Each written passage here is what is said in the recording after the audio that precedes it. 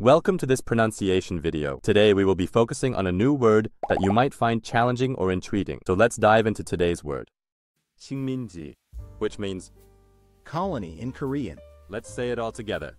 식민지, 식민지, 식민지. One more time.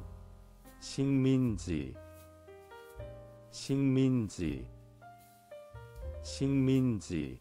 Thank you for joining us on this adventure in pronunciation. Remember, language is a journey, not a destination. Keep exploring, experimenting, and expanding your linguistic horizons. We'll see you next time.